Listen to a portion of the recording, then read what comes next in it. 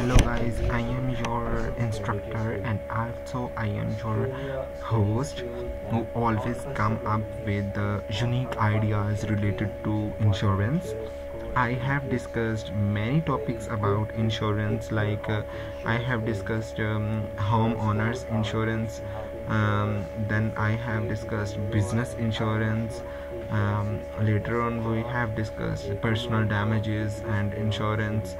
Um, but today I come up with a different um, topic which is annuities basics.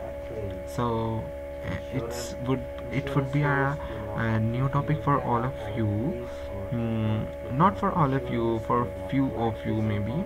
Um, but uh, if you are um, searching for insurance channel so it is humble request to all of you that please do subscribe my youtube channel I am uh, I am uh, watching the anal analysis analysis of my YouTube channel, and that is saying that um, most of the people are not subscribing my YouTube channel.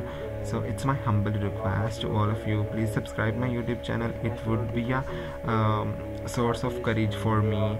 Uh, if you will like my videos, I will get motivation from your likes, and I will get motivation mm, from your lovely comments i know there are some negative comments too but i forget them when i um, read some good comments in my uh, comment section. So without wasting uh, time um, i would like to start the topic which is uh, basics. Uh, are financial products intended to enhance retirement security.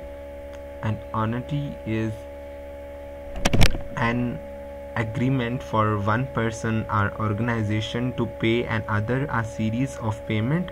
Usually the term annuity relates to a contract between an individual and a life insurance company there are many categories of annuities they can be uh, classified by nature of underlying uh, underlying investment uh, which is fixed or maybe variable. It's depend on the situation and uh, people who are making contract.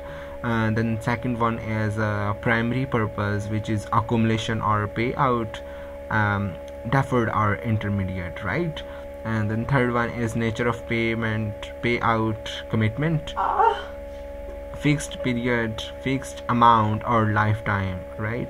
Then next one is tax uh, status which is qualified or not qualified. And the next one is premium payout arrangement a single premium uh, or flexible premium the next one is premium uh, payment agreement uh, which is single premium or flexible uh, flexible premium. Uh, any annuity can be classified in several of these categories at once. For example an individual might buy a non-qualified um, single premium deferred um, variable annuity so it's all for today video. Uh, thank you so much for staying with me till the end of the video. Uh, at last i just want to say um, that please subscribe my youtube channel um, and also hit the bell icon plus in bonus do like my videos. Thank you so much my lovely people